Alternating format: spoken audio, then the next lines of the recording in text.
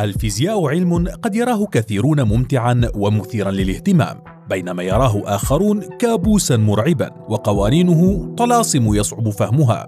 لكن هل تعلم أن هناك حيوانات تفهم هذه القوانين وتطبقها وتمارسها في حياتها اليومية؟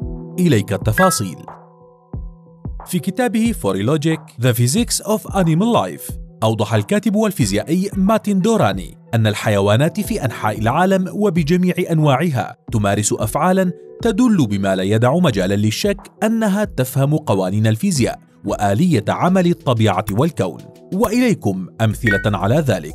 بينما يلجأ لاعب كرة القدم أثناء تنفيذه ركلة للرجوع للوراء عدة خطوات قبل أن يركض مسرعا تجاه الكرة ويركلها في اتجاه المرمى. لأنه يعلم أن تلك الخطوات تعد بمثابة شحن لقوة دفع الكرة.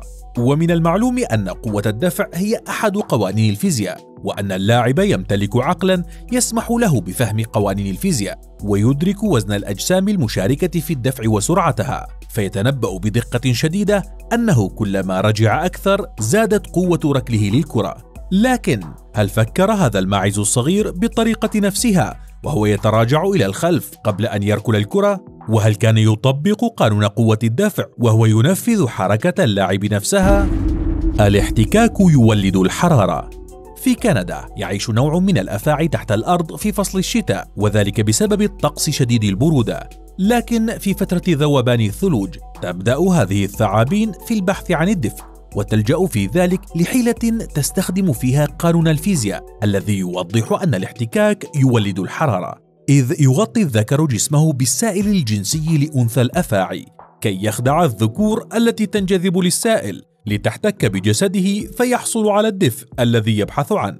وهذه الحيلة يطلق عليها كليبتوثيرمي وهي منتشرة كثيرا لدى بعض الحيوانات التي تلجأ لسرقة الحرارة الجسدية من الحيوانات الأخرى.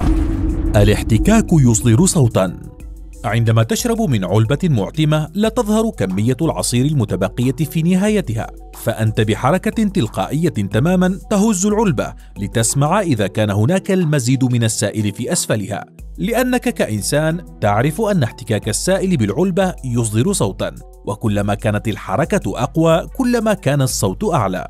لكن هل تقتصر هذه الحركة على البشر وحدهم؟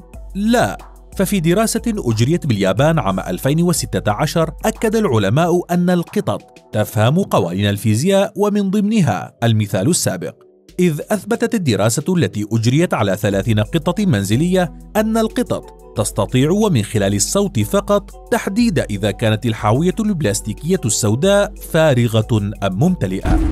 قانون الحركة الاهتزازية اكتشف علماء الحيوان أن بعض الدببة والفئران والكلاب أيضا تدرك فطريا قانون الحركة الاهتزازية وتستخدمه لتجفيف أجسامها إذ تهتز أجسادها هزات انتظامية وفق فترات زمنية محددة لتجفيفها من الماء وهي الحركة نفسها التي نلجأ إليها كبشر بعد السباحة أو الاستحمام لتجفيف شعرنا.